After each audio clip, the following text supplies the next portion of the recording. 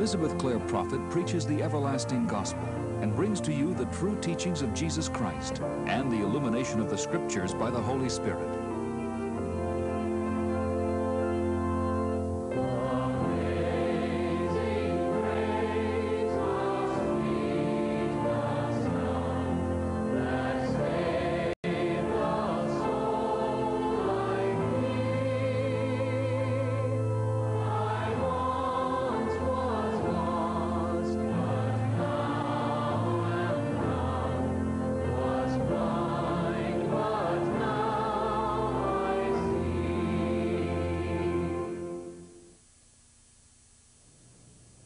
We gather together on Pentecost to attend the descent of the Holy Ghost. And when the day of Pentecost was fully come, they were all with one accord in one place. And suddenly there came a sound from heaven as of a rushing mighty wind and it filled all the house where they were sitting. And there appeared unto them cloven tongues like as of fire, and it sat upon each of them. And they were all filled with the Holy Ghost, and began to speak with other tongues, as the Spirit gave them utterance. This phenomenon of Almighty God, the impartation of His Spirit unto you, is your fiery destiny. You must pursue it, win it, become the chalice, carve out that sacred cup. This you must have prior to your ascension in the light Therefore, be about your Father's business, seeking and finding the Holy Spirit lawfully, lawfully and not inordinately, as some do, desiring with an inordinate desire to have the Spirit of God that they might be thought well among their brethren, and therefore inviting the possessing spirits that are not of Almighty God and I preach to you this word this day, that there are preachers abroad in the land whom I have viewed. And one day I will show you the tape recordings of their sermons, and I will illustrate to you the possessing demons, the impostors of the Holy Ghost, by which they preach, not with the power of Almighty God. And their congregations are fooled because they have not tasted of the cup of the Holy Grail, they have not drunk the blood of Christ, nor eaten his body. And therefore the example must be forthcoming from those who have the word and who must appreciate that word above all others who have been given so great a salvation, such a mighty gift. This is our gift this day. And the Holy Spirit will come to you when you are prepared it came to the nine-year-old boy, Mark Prophet, who received that power in prayer as he knelt night and day in a humble place, an attic room that was cold in winter and hot in summer. But he prayed not with inordinate desire, but with the humility of a soul, born to be a servant of God, and you are that very soul, born to be a servant of God, and yet failing to cast off the debris, the unnecessary, the unwanted vanities, the emotional bouts and indulgences, the ups, the downs, the questioning. And therefore you are not steady, and the grail cannot be lowered from your Christ self, and it cannot be filled because you have not sought more than all else this goal of Pentecost and there were dwelling at Jerusalem, in the holy city, Jews, devout men out of every nation under heaven. Now when this was noised abroad, the multitude came together and were confounded because that every man heard them speak in his own language. And they were all amazed and marveled, saying one to another, Behold, are not all these which speak Galileans? And how hear we every man in our own tongue, wherein we were born? Parthians and Medes and Elamites and the dwellers in Mesopotamia and in Judea and Cappadocia and Pontus and Asia, Phrygia and Pamphylia, in Egypt and in the parts of Libya about Cyrene, and strangers of Rome, Jews and proselytes, Cretes and Arabians. We do hear them speak in our tongues the wonderful works of God.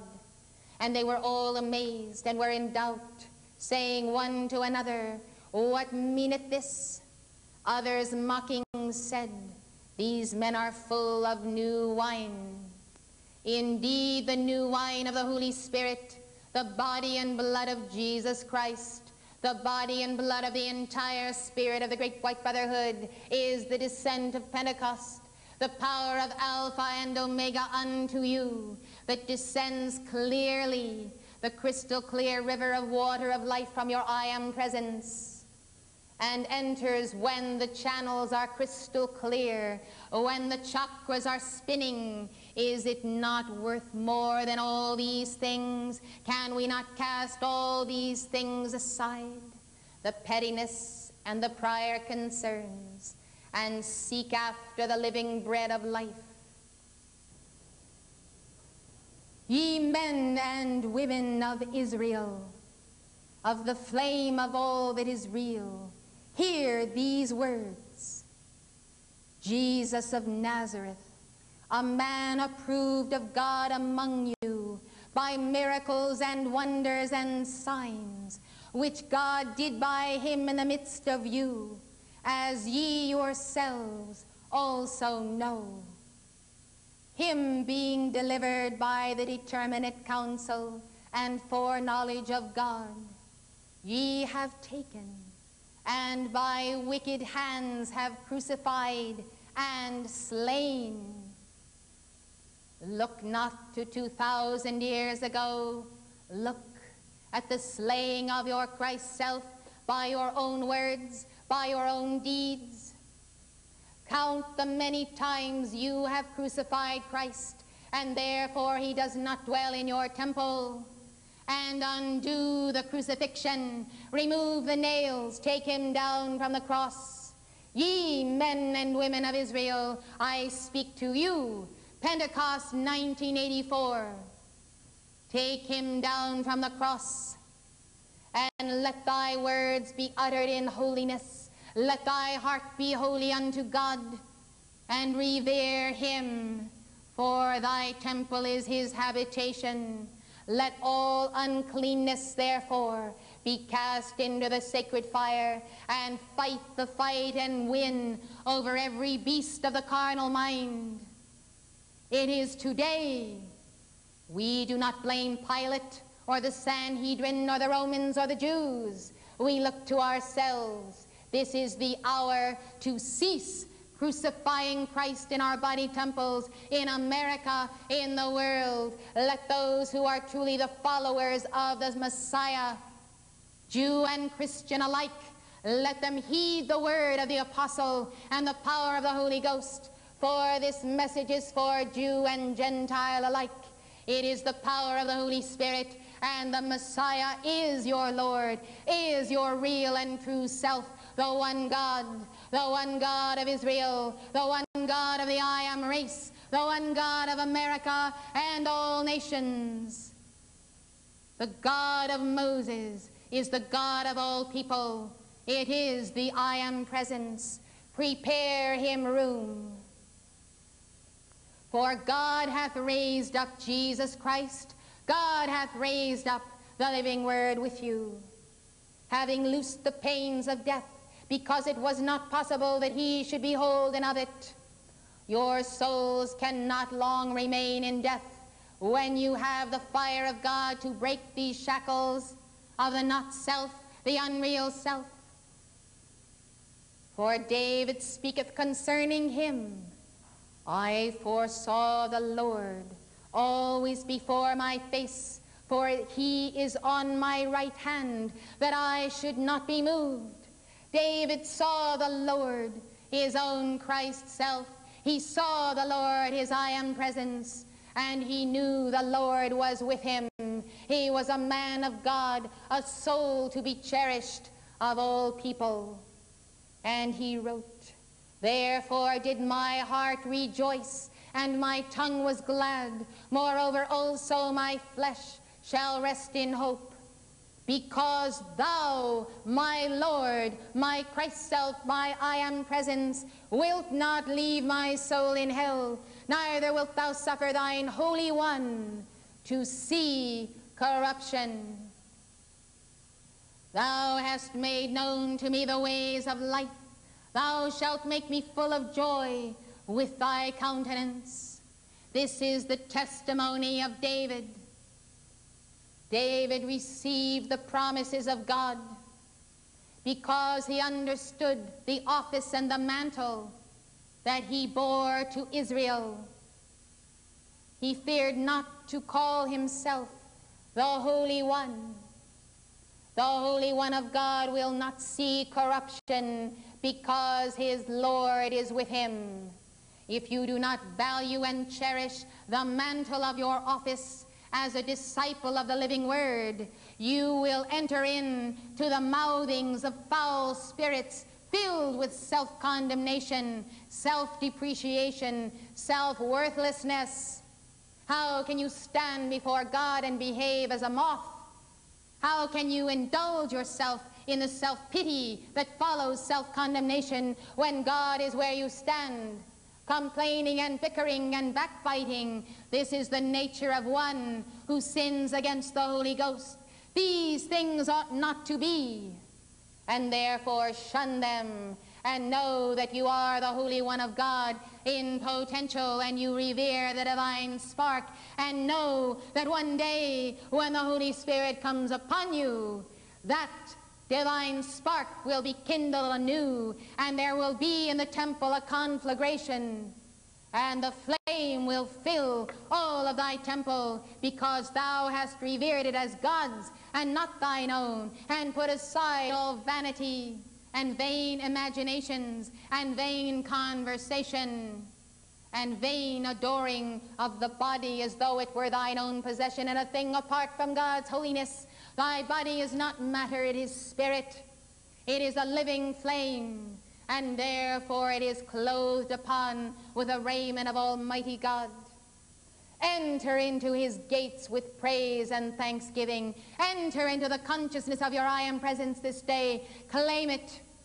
For this day the power of God shall fill the earth, and the darkness shall be swallowed up in the light that does not fail. Let us call in the name of our I am presence for the light of God to set us free, the light of God to expand.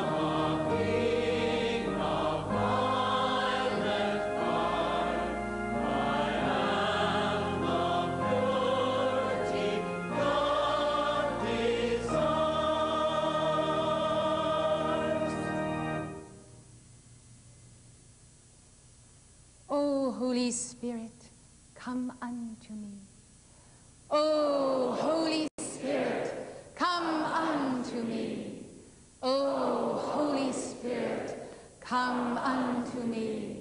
O Holy Spirit, come unto me. O Holy Spirit, come unto me. Men and women and brethren, sisters of light. Let me freely speak unto you of the patriarch David, that he is both dead and buried, and his sepulchre is with us unto this day. Therefore, being a prophet, and knowing that God had sworn with an oath to him that of the fruit of his loins, according to the flesh, he would raise up Christ to sit on his throne. He, seeing this before, spake of the resurrection of Christ, that his soul was not left in hell, neither his flesh did see corruption. This Jesus hath God raised up, whereof we all are witnesses. Therefore, being by the right hand of God exalted, and having received of the Father the promise of the Holy Ghost, he hath shed forth this, which ye now see and hear. For David is not ascended into the heavens, but he saith himself, The Lord, the I am that I am, said unto my Lord, my holy Christ self, Sit thou on my right hand until I make thy foes thy footstool. Therefore let all the house of Israel know assuredly that God hath made that same Jesus whom ye have crucified, both Lord and Christ. Hear, my beloved, on the day of Pentecost, when the apostles are gathered, following the ascension of Jesus Christ, Peter speaks to them of the promise of the Father unto David, that David would not suffer the affliction of death and hell, but would be spared the corruption by the coming of the one, the living Christ.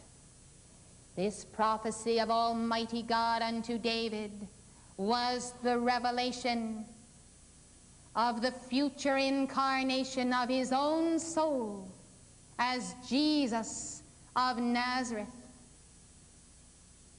This has been interpreted to mean that Jesus has come out of the house of David by a linear descent established in the descendancy of Joseph and Mary. But the descent of the Holy Spirit and the fire of Christ, that fire of Christ is not by the flesh, but of the soul and the spirit, and therefore he did view his mission and the fulfillment, yet in my flesh shall I see God. Therefore the union of Christian and Jew and Gentile and Muslim is seen in the fiery descent of that one and in the magnificent path of his calling, his overcoming, his preparation of the chalice to be the chalice of the living word. Because David lived and won his victory over the flesh, over the fallen angels and the gods and the devils and every temptation. Therefore he was born again in the likeness of that Lord, whom he perceived with him and at his right hand.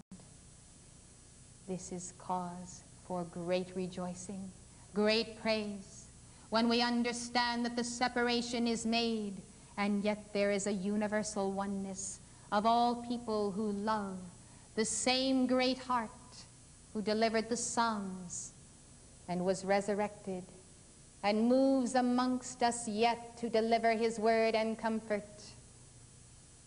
Beloved ones, when you go to Jerusalem, in the very same building you find the tomb of David and the Jews praying.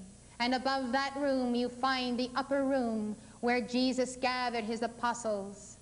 And there you may also go and gather in the very same house, as if defining the levels of consciousness of the spirit and matter cosmos and achievement of our Lord and Savior. Do you see the divide and conquer tactics of the fallen ones, the false hierarchy impostors of the Holy Ghost? who separate and divide and saw asunder the precious children of the light, and the sons of Levi, and the children of Israel, and the Gentiles to whom Paul preached. Therefore we are come, for the oneness of the Holy Ghost, described as cloven tongues of fire, a fire that is split in two, signifying it is the power of Alpha and Omega. Jesus instituted the Last Supper that we might celebrate communion, the body and the blood of our Lord. Yet after his ascension, he delivers that fire directly to them, not using the alchemy of transubstantiation of the bread and the wine, but the direct conference of the baptism of the Holy Ghost. And so they are empowered. They have followed all rituals. They are ready for the consummation of the grace of the living presence of our God. Now when they heard this, they were pricked in their heart and said unto Peter and to the rest of the apostles, Men and brethren, what shall we do? Then Peter said unto them, As I say unto you this day, for you also have need of it. Repent. Repent of your karma. Repent of your momentums of habit. Shed the old garments. Be free today. Repent and be baptized, every one of you, in the name of Jesus Christ, for the remission of sins, for the reduction, for the consuming, for the erasing of the cause, effect, record, and memory of the desire of sin and the act of sin, the memory of sin. And ye shall receive the gift of the Holy Ghost. For the promise is unto you and to your children and to all that are afar off, even as many as the Lord our God shall call. He will call them, not I and not thee. Our God will call them, and they shall come to the altar of the Holy Grail and they shall be baptized, and they shall all know the Lord, from the least of them unto the greatest. They shall know the I am that I am. And with many other words did Peter testify and exhort, saying, Save yourselves from this untoward generation. And I say to you, by the gift of Pentecost, Save yourselves from this untoward generation of your past karma. The old self and the old man with his deeds, cast them off and become the new man who will smite the Jordan and part it by the power of the mantle of our God. He will perform these things through you, and the tide of world communism and totalitarian movements will abate it will go down because the Holy Spirit is with his people and they are with him and there is agreement and harmony and one accord in one place.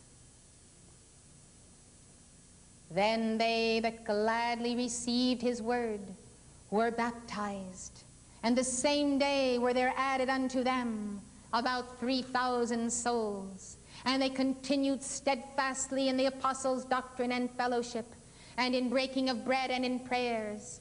And fear came upon every soul, and many wonders and signs were done by the apostles. And all that believed were together and had all things common. This is the community of the Holy Spirit. It only works when you have the Spirit. Otherwise, it degenerates into a commune, leaderless without the point of Christ or his standard or the standard bearer, or the light of the Ancient of Days. This is world communism, sharing things in common without the living word in the center, without the standard, the mediator, without bending the knee. It is unacceptable before the Lord God Almighty. And only the flow of the Holy Spirit can seal a people who desire to hold one cup, one communion, one body of God in common. This was the way proposed. It did not endure the centuries because of the absence of that perfect love and spirit and the recognition of the fire of the Holy Ghost in the midst of the community. They sold their possessions and goods and parted them to all men as every man had need. And they, continuing daily with one accord in the temple and breaking bread from house to house, did eat their meat with gladness and singleness of heart, praising God and having favor with all the people. And the Lord added to the church daily such as should be saved. He will add whom he will, those whom he deems should be saved each and every day. Make way for our God and for his elect. Clear thy temples, clear thy tabernacles, make them holy, that the love of Christ might go forth from you and the power of conversion be with you always and always, my beloved. O Holy Spirit, come unto me. O Holy Spirit, come unto me. O Holy Spirit, come unto me. O Holy Spirit, come unto me. O Holy Spirit, come unto me.